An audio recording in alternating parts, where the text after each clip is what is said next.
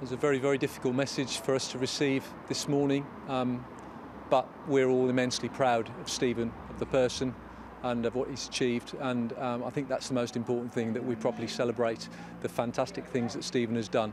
Um, over the past few years. I've known Stephen since I've been here as head teacher for, for six years and um, initial impressions and his early time in the school um, are of um, a young lad who just seemed to be good at everything, very, very academically able, um, gifted musician and sports person.